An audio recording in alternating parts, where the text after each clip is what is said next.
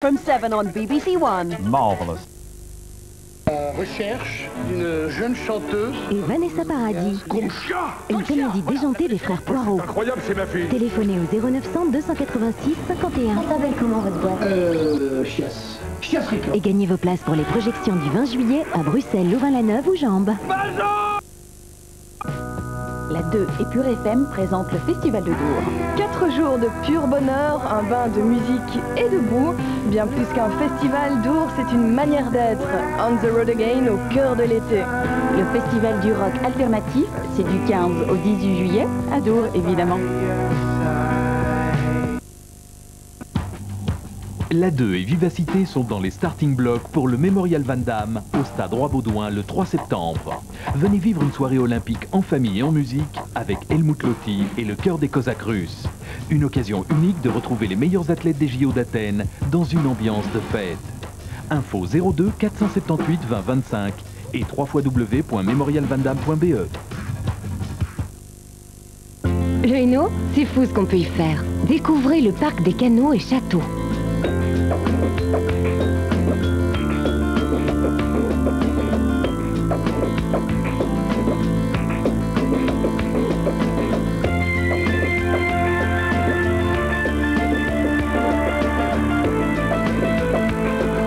Recevez le guide des attractions du Hainaut et 160 euros d'avantage en téléphonant au 0800 98 108. La Wallonie, la chaleur de vivre. Que du bonheur, les soldes intérieurs d'Ivani. Que du bonheur, c'est maintenant ou jamais chez Intérieur d'Ivani. Que du bonheur, gagnez jusqu'à 50%.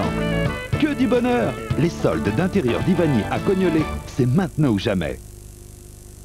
100, j'arrive Nouveau, l'eau de Vitalinéa. Avec 0,001% de sodium pour m'aider à mieux éliminer et à me sentir plus légère. l'eau de Vitalinéa, vive ma ligne. Le jour de la fête nationale, téléphonez gratuitement en Belgique avec Télé 2. Inscrivez-vous au 0800 15 505. Télé 2, pourquoi continuer à téléphoner trop cher?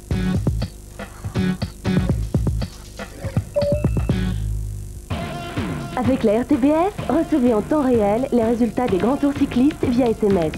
Abonnez-vous en envoyant un SMS à 50 centimes au 3028 avec le code RTBF Cycletour E pour les résultats Cycletour EC pour le classement.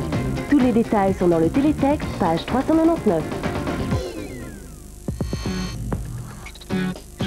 On siffle pour elle, on la désire. Moi je sais que je voudrais pas penser pareil. Un postérieur qui n'est pas, qui n'est pas désagréable. Des rondeurs. Il faut qu'il y ait des étincelles qui viennent de, de, de génie un peu fou pour euh, que la machine avance. La voiture, c'est une voiture de poète.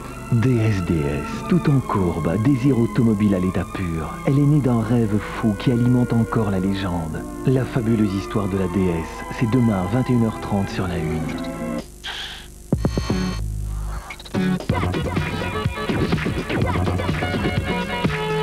Cet été, la 1 et la 2 se coupent en quatre. Plein feu sur le sport. Après l'Eurofoot, les Jeux Olympiques seront à l'honneur. Chaque jour, nous serons à Athènes pour vous, au cœur de l'événement. Mais le programme sportif ne s'arrête pas là. L'été est très chaud. D'une chaîne à l'autre, en télé et en radio, nous partagerons avec vous tous les moments importants, les performances et les grandes émotions.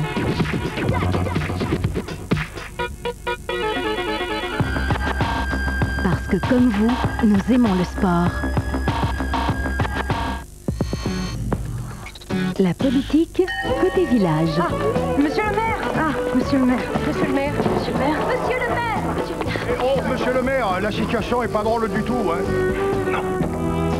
Et la politique, côté campagne. Vous savez ce qu'était qui alors? Monsieur le maire, côté tendresse. J'espère. Et monsieur le maire, côté taureau. C'est ça ta conception de la politique? Le sens du vent? Ah non, la voix du peuple. Râleuse. Ensoleillée. Provinciale. Et pittoresque. C'est la France d'en bas comme on l'aime. Le pays camarguais, là où même les hommes politiques savent prendre le temps de vivre. Virgile, t'es un seigneur. Je sais. Tous les mardis sur la une.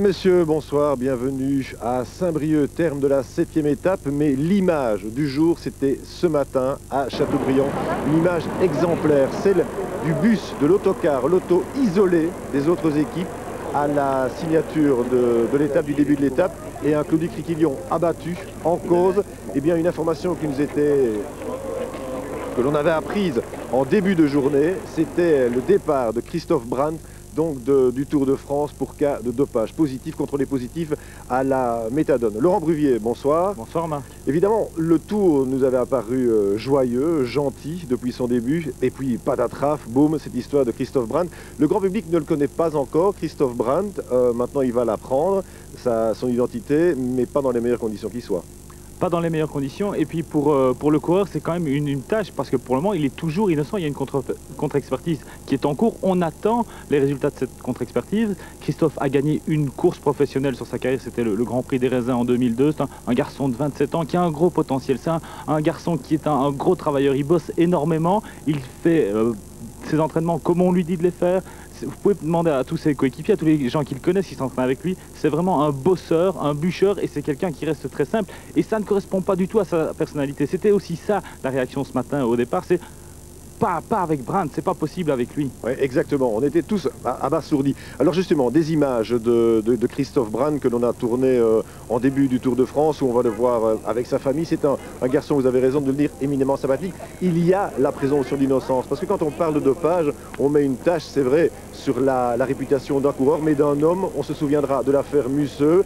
On avait fait tout un foin, puis finalement la contre-expertise avait démontré que Musseux était innocent. Donc attention à ce que l'on dit sur Christophe Brandt, il y a toujours une présomption d'innocence. Christophe Brandt, coureur d'origine liégeoise, on vous l'a dit, un grand bosseur, un, garçon éminemment sympathique, mais enfin bon, ça, il y, a beaucoup de choses à dire sur Christophe Brandt bien sûr, mais surtout c'était entendre sa réaction. Alors il était rentré en Belgique hier soir, il est venu dans les studios de bicyclette euh, auprès de Vincent Langendries pour expliquer justement ses états d'âme au moment où il a appris euh, son éviction du Tour de France. On l'écoute, l'interview. Je suis complètement abasourdi parce que bon, euh, j'ai toujours essayé de faire mon métier correctement, le plus proprement possible en respectant les règles du jeu. Et bon, là, il me tombe vraiment quelque chose sur, le, sur la tête, vraiment un gros coup sur la tête parce que, bon, euh, je suis positif. En plus, euh, la méthadone, un produit que. Je ne peux même pas parler d'un produit qui peut améliorer les performances, donc euh, je ne comprends pas. Tout le monde pense que c'est un, soit un problème au niveau du laboratoire ou soit, soit quelqu'un qui a essayé de me jouer un mauvais tour ou, autre chose. Enfin les faits sont là. Bon, j'avais de la méthadone dans le corps, donc euh, si, la, si la, contre-expertise s'avère positive, euh, c'est que j'avais de la méthadone dans le corps. Et bon, euh, là, il faudra trouver comment elle a réussi à s'introduire dans mon corps. quel est votre état d'esprit aujourd'hui? Bah, L'état d'esprit, il est entre vraiment la, la, grosse déception et la plus grosse, enfin, je veux dire la plus grosse déception de ma vie, parce que bon quand on est coureur, on veut faire du vélo. Et bon, ici, euh, maintenant, je peux plus en faire momentanément. Donc, euh, ce que je veux, c'est prouver que je n'ai pas pris ce produit-là. Et je ne l'ai pas pris, donc je veux, faire tout ce qui est à mon pouvoir pour, euh, pour être blanchi et pouvoir remonter sur un vélo. Voilà, une réaction euh, de Christophe Brun et un combat qu'il dit qu'il va engager maintenant pour euh, laver les soupçons qui pèsent donc sur sa, personnalité et sur ses capacités aussi. C'était évidemment la stupéfaction du côté de l'entourage, de l'équipe Lotodomo. Écoutez les propos de Claudie Criquillon, très ému ce matin à Châteaubriand au départ de l'étape. Bah, c'est le ciel qui nous tombe euh, carrément sur la tête. Bon, hier, on avait déjà passé une très mauvaise fin d'après-midi. Et ensuite la convocation bien sûr du président du jury et de, l'inspecteur médical. Bon, euh, tout ça ensemble fait qu'on euh, a du mal à relever la tête. Comment on explique ça? Parce que c'est un produit, c'est un antidépresseur, un antidouleur, mais c'est pas un produit dopant. Christophe, qu'on a joint par téléphone, ne comprend pas non plus. Non, c'est tout à fait incompréhensible. Bon, c'est pour ça que euh, l'inspecteur médical nous a conseillé aussi, le président, de faire la contre-analyse, parce que c'est c'est quelque chose de tout à fait vraiment incroyable. C'est l'équipe qui a pris la décision de le suspendre du tour ben, C'est le règlement interne du, Tour de France. Dès qu'il y a un coureur qui a, qui, a, un problème quelconque, dans, ce sens-là en tout cas, qu'il faut l'écarter de, la course. Votre sentiment, parce que Brandt est éminemment sympathique, c'est vraiment, c'est le contre-exemple absolu. On se dit s'il y en a un, ce n'est pas lui, et pourtant, voilà. Ouais, ben bon, tout ce qu'on espère, tout le monde dit la même chose, mais c'est que, que, ce soit tout simplement une erreur du, laboratoire. Votre sentiment là-dessus, par rapport à lui, par rapport, au coureur aussi Je suis vraiment très triste pour lui. Bon, euh, on a éclaté euh, dans les bras de l'autre hier aux environs de minuit. Et bon, c'est comme ça, c'est très triste. Claudie, on ne va pas non plus euh, remuer le couteau dans la plaie parce que c'est vrai que c'est douloureux, surtout vous connaissant et connaissant les relations que vous aviez avec lui. Mais ça remet en cause quelque part votre métier aussi, la vision qu'on a du vélo euh, Peut-être, bon maintenant je ne sais pas trop euh, où j'en suis, je ne sais pas trop le parcours d'aujourd'hui, comment, comment il est. maintenant autour de mettre en question, je ne crois pas non plus. Il est le troisième coureur belge à être exclu du Tour de France et il faut bien spécifier, Laurent, qu'il y a un règlement particulier concernant le Tour de France et les évictions des coureurs.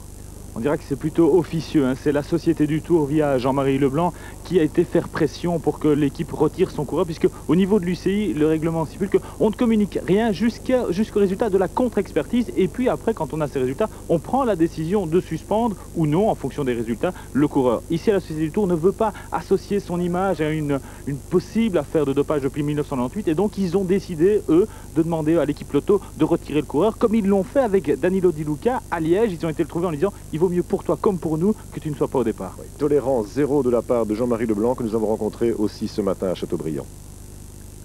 Je ne sais que ceci, que Christophe Brandt a fait l'objet d'un euh, contrôle positif. C'est ce que j'ai appris ce matin de bonne heure de Jean-François Pécheux. Et je ne sais rien de plus.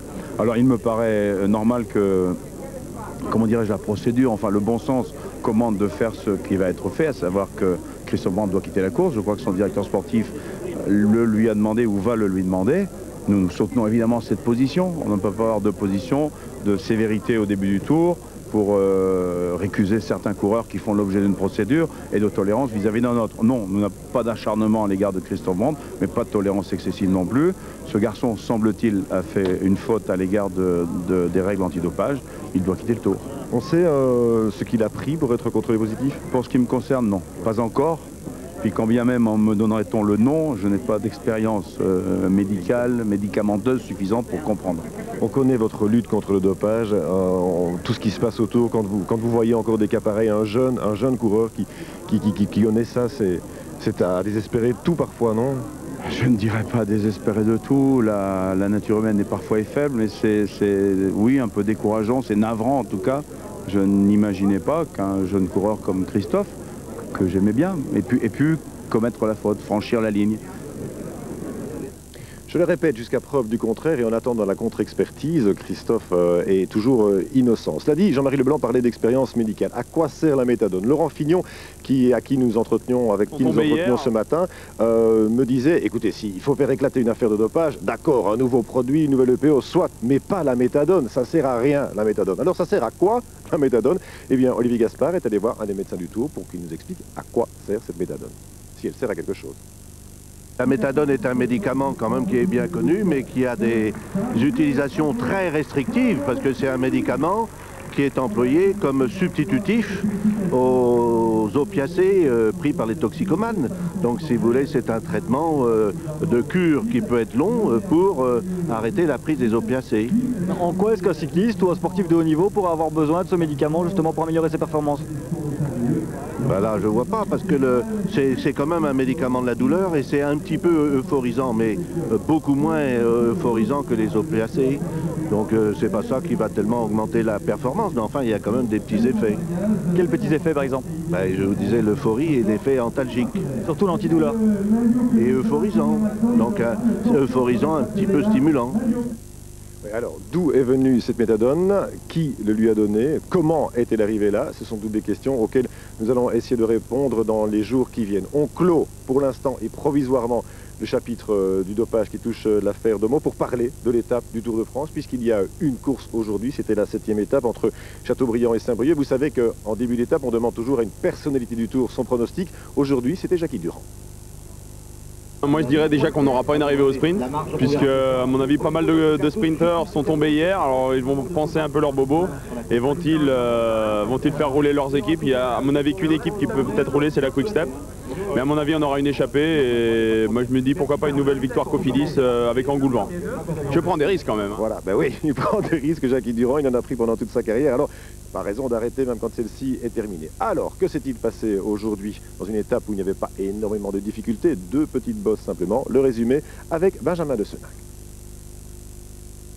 Avec l'affaire Brandt, le départ de Chateaubriand est un peu terne. Pour Simoni aussi, très touché dans la chute d'hier, il sera à deux doigts de mettre pied à terre. Car le rythme est très soutenu dans les premiers kilomètres. Les attaques se succèdent avec une qui tient. Et avec un Belge, Maréchal de chez Lotto et Decker de chez Rabobank sont partis et passent dans cet ordre le deuxième sprint intermédiaire. Un sprint où McEwen va devancer Ogwedi pour la troisième place. Les deux Australiens ont désormais le même nombre de points au classement du maillot vert. Les deux échappés s'envolent, les hélicos et le peloton restent pour l'instant au sol. Passer de l'ombre à la lumière, c'est l'objectif des lotos aujourd'hui et à Becherel, les efforts conjugués de Maréchal et Decker portent leur avance à 6 minutes à 120 km de l'arrivée. Pas encore de réaction dans le peloton, si ce n'est celle de Frédéric Guédon. Le Français prend le temps de saluer les siens. Les Guédons s'embrassent, se serrent la main, les mains sur le guidon pour Maréchal. L'écart dépasse les 8 minutes.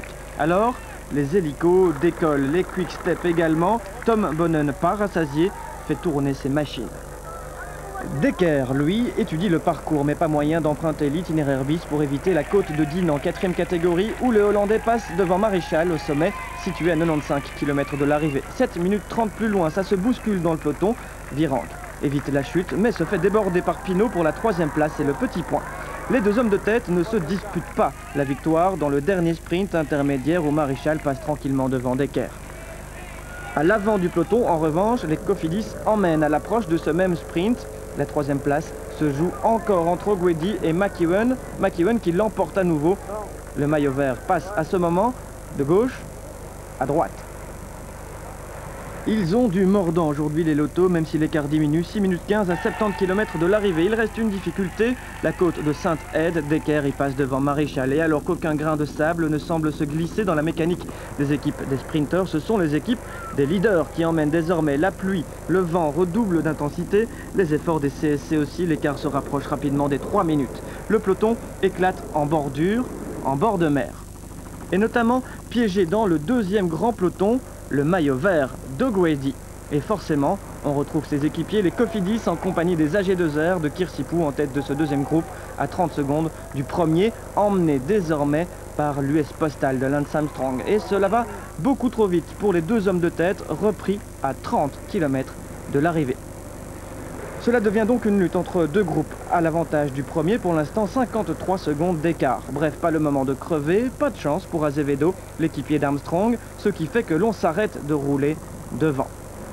Alors cela attaque et quatre hommes se détachent, Pile, Petrov, Garcia Costa et Cancellara. En revanche derrière, c'est la jonction entre les deux grands groupes et sous l'impulsion des T-Mobile, c'est même le regroupement général. Mais sept hommes parviennent encore à sortir à 5 km du but, parmi Bettini, Mancebo et Scarponi.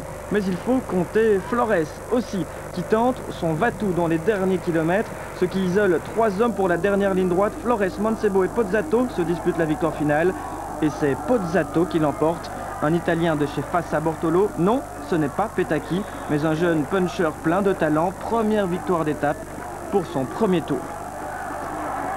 Il devance Flores et Mancebo. Mancebo, un outsider du Tour de France qui grappille quelques secondes à l'arrivée à Saint-Brieuc, tandis qu'Ogwedi 10e conserve finalement son maillot vert. Et le jaune, lui, reste pour Veuclair en tête d'un classement général quasiment inchangé.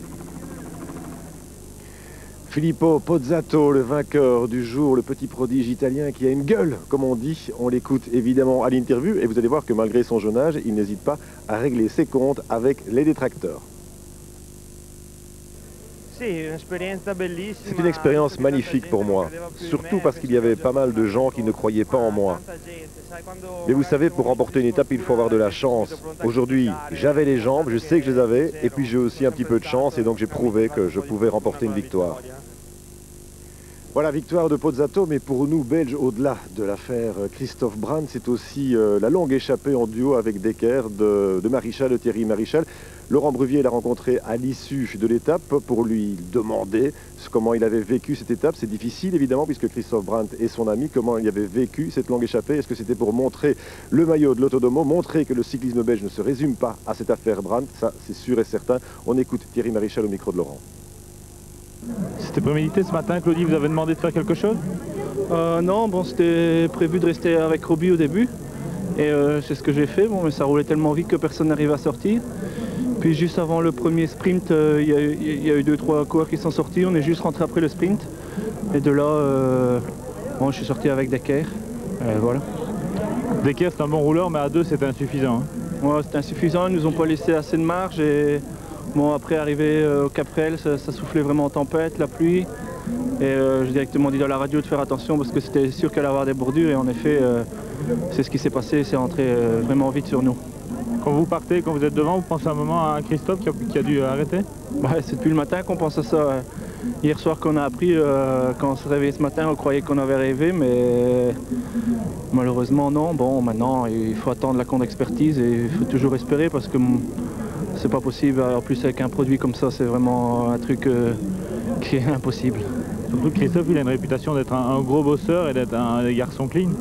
Moi, c'est sûr. Bon, je le connais très bien. Ça fait je sais pas combien d'années qu'on roule ensemble et, bon, il y a quelque chose qui est pas normal là derrière, je sais pas quoi, mais c'est impossible. J'y crois pas, je sais pas. L'équipe a pris un petit coup de marteau sur la tête? Un petit, c'est plutôt un coup de masse. Euh, la chute de Roby hier et après hier soir, ça, euh, tout le monde au matin était avec une tête jusque par terre et bon ben je pense que les encouragements du public aujourd'hui ça m'a fait beaucoup de bien parce que J'aurais plutôt envie de rentrer à la maison que de continuer ici. Oui, et un public euh, très très nombreux, vous avez pu le voir dans, le résumé. Partagé aussi, hein, euh, quelques calicots que l'on a vus sur le parcours, c'est les rumeurs, on s'en fout. Nous, on aime les coureurs, ou alors qui veut sa piqûre, on aime le tour. Donc vous voyez, c'est assez partagé au niveau de la, de la vie populaire, mais en tout cas, il y a énormément de monde sur les routes du Tour. Énormément de monde aussi à Ifignac, à 9 km de l'arrivée d'aujourd'hui. C'est le village natal de Bernardino, et ce matin, Olivier Gaspard est allé faire un petit tour là-bas. Ifignac, petit village près de Saint-Brieuc, lieu de passage de cette septième étape, et à Ifignac, des Inuits, il y en a partout. Le maire, c'est le cousin de Bernard, Inuit et Ifignac, c'est quelque part une grande histoire de famille. C'est un nom très connu sur la commune. Qu'est-ce qu'il y a à voir par rapport à Bernard Hinault ici? Euh, Par rapport à Bernard Hinault, il n'y a pas de, musée. Bon, il y, avait, il y a un buste à la mairie d'Ifignac, la mairie est fermée ce matin. Et autrement, il y a une, exposition qui est très intéressante dans, la rue principale. Là, c'est un artisan qui a fait une belle vitrine sur Bernard Hinault. Normal quand même d'avoir une petite pensée pour le quintuple vainqueur du Tour, né ici il y a tout juste 50 ans. À Effignac, il n'y a pas de rue, il n'y a même pas de musée consacré aux champions bretons. Heureusement, les vieux copains sont là. Nous avons été à l'école ensemble, alors euh, on a vécu toute notre enfance ensemble. Alors Bernard Hinault, c'est un gars comment? Bah, disons qu'on ne le voit plus beaucoup dans la région actuellement. Euh, il s'occupe de sa ferme à, Surdinan, donc on le voit très peu sur Effinac. Humainement parlant, vous le connaissez bien, puisque vous avez été à l'école avec lui. Il était comment? Comme compagnon de classe? Comme compagnon de classe, oh, bah, c'était une personne qui voulait toujours aller de l'avant. Ça n'a pas changé, c'est peut-être ça qui a fait sa carrière aussi. Voilà, Toujours le premier, le meilleur. Midi, sur la place du village, c'est l'heure de l'apéro. Ici au Café du Coin, on parle du Tour, on parle d'Ino, de ses 5 victoires et d'Armstrong qui pourrait très bien décrocher un sixième succès. Ino aurait pu gagner de plus s'il avait... Ouais. Oui, mais si Armstrong gagne cette année, c'est lui qui, ah dépasse tout le monde. Bah oui, certainement. Et ça vous fait quoi ça? Ah bah, euh, il est fort, il, est, hein, euh, il insiste, bon ben, hein. Bernard Hinault aurait dû le faire aussi. Hein. Donc ça veut dire qu'Armstrong est plus fort qu'Hinault, plus fort que tous les autres? On ne peut pas comparer. Pourquoi? Les, vélos ne sont plus les mêmes et le doping non plus. Dans quelques heures, Armstrong, Ulrich et tous les autres, mais aussi et surtout Bernardino seront de passage au village. Il est temps de se préparer. Ifignac va accueillir son champion. Et vous l'avez vu aussi, il y avait énormément de monde à Effignacq comme tout le long de l'étape. Voilà, on arrive au terme de cette émission avec euh, deux informations, la victoire de Filippo Pozzato, bien entendu, et puis ce qu'il faut appeler l'affaire Christophe Brand, d'autres éléments d'information dans le journal télévisé dans quelques instants. Tout de suite, avant de se quitter, le profil de l'étape de demain, une étape qui va partir de Lamballe dans les Côtes d'Armor pour se terminer à Quimper. Il y aura 168 km et quelques petites côtes, appelons cela des côtelettes. 3 de quatrième catégorie et une de troisième. Voilà, excellente soirée et à demain, comme d'habitude, dans le week-end sportif cette fois. Au revoir.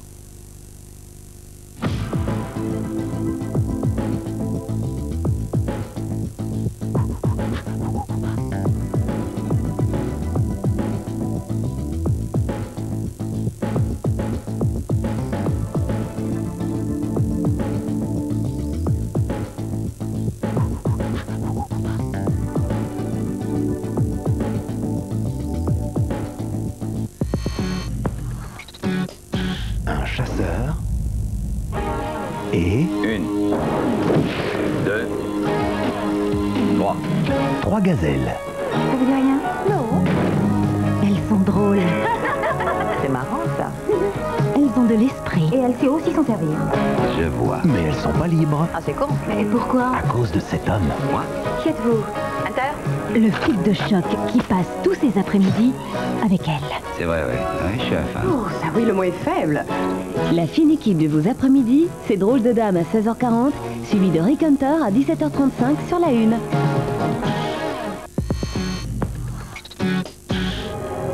Ce soir, les loups sont sortis. Et les mecs, vous croyez qu'on a affaire au dernier des Charlots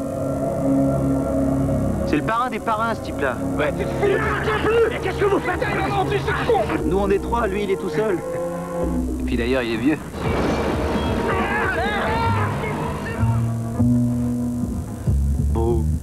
Oh merde, merde, merde, merde, mais vous êtes foutu dedans, putain, mais vous savez qui c'est Quand le parrain se fait kidnapper par une bande de chérubins, du thriller, nous en arrivons à des moments complètement décalés. Suicide Kings est l'incontournable de ce soir.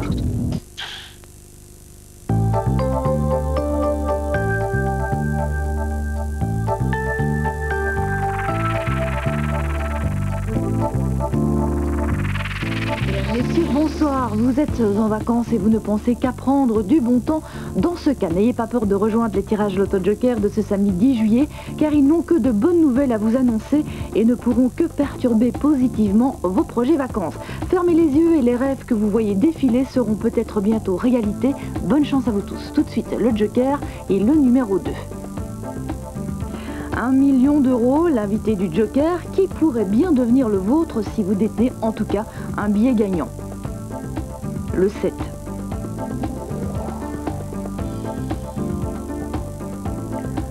Le 2, le 7, c'est reparti pour la troisième boule Joker.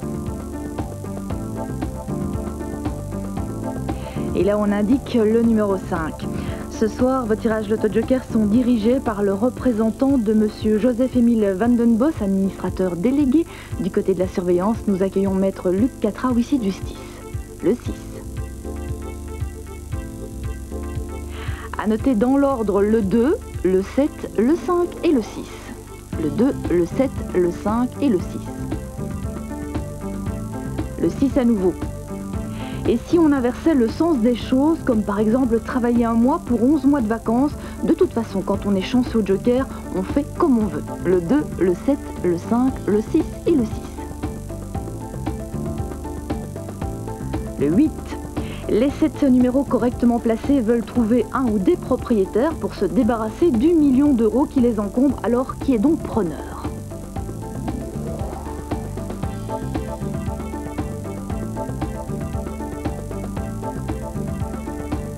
Le 6 est donc le numéro 2 756 686 qui vient de décrocher le million d'euros.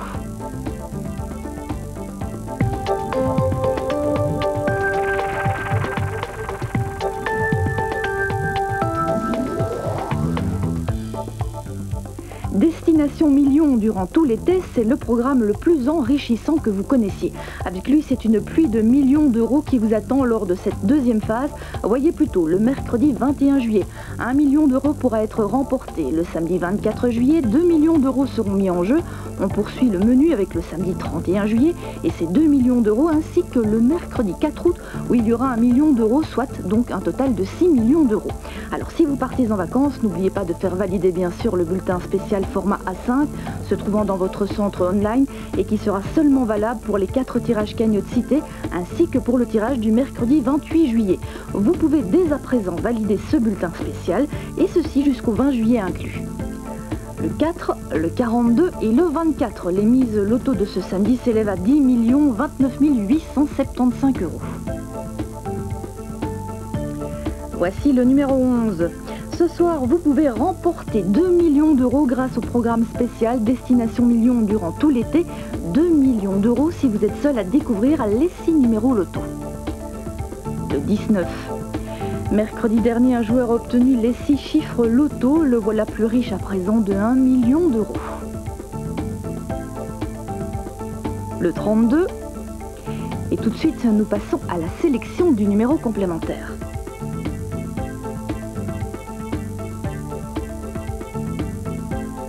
le 39. Je vous rappelle que ce soir, il fallait donc cocher le 4, le 42, le 24, le 11, le 19 et le 32, le complémentaire le 39. En ce qui concerne les résultats financiers, notez qu'ils seront diffusés après le téléfilm Navarro.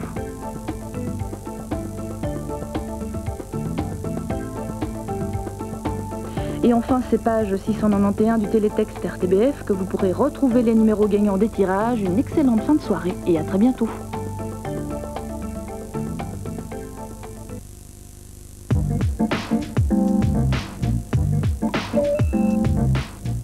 Peau est trop sèche, je ne supporte plus rien.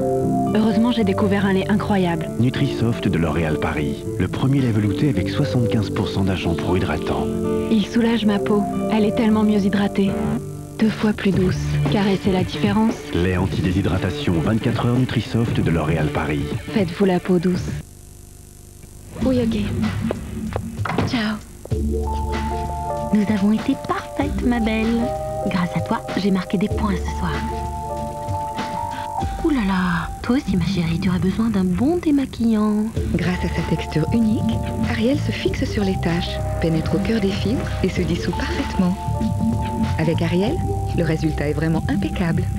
On fait une belle équipe toutes les deux. Vous aimez vos vêtements? Exigez l'impeccable, Ariel. Et en cadeau, recevez un de ces deux superbes châles.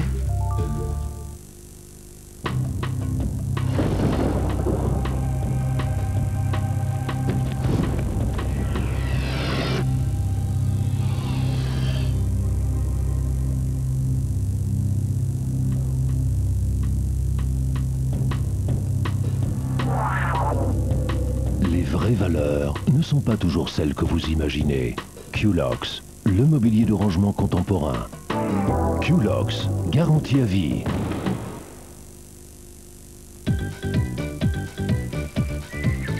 Dis-moi, dis-moi, dis-moi, dis-moi, le nom d'un animal du monde sauvage des whites. Traverser mille ans d'histoire d'une principauté. Plonger dans l'univers poétique de Guillaume Apollinaire. Parcourir 100 années de sport moteur. L'abbaye de Stavelot, trois musées à découvrir, mille ambiances à vivre dans un cadre entièrement rénové. L'abbaye de Stavelot, la destination plaisir. Le Tour de France 2004. Jusqu'au 25 juillet, la Une fait le tour pour vous et avec vous. La grande boucle jusqu'à Paris, tous les jours en direct. La Une, la chaîne qui fait le tour. Hello Tétéo, Loto. L'immeuble Mativa à 8. Pour profiter de véritables soldes sur les plus grandes marques. Les meubles Mativa à 8. Messieurs, sous vos yeux, quelques experts en train de déguster un fromage de chèvre pas comme les autres. Ça, c'est du bon fromage de chèvre. C'est un goût frais. Ah, si, c'est bon. Et la tendrebiche, tu l'as goûté? Hum, ça, elle est fondante. Ça, pour sûr. Il y a toujours un chavroux à découvrir. Découvrez l'Easy Peel, l'ouverture sûre et facile des saladières de Sopiquet. Des salades riches en thon et en petits légumes préparés. Dégustez les saladières de Sopiquet. Nouveau, Dagno Drink en petite bouteille. De vrais morceaux de fruits dans un Dagno à boire extrêmement onctueux. bon Nouveau Dagno Drink, un délicieux Dagno à boire.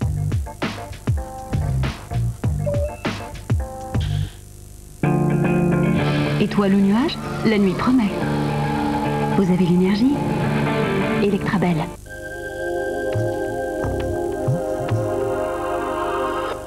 Bonsoir à tous, bienvenue sur...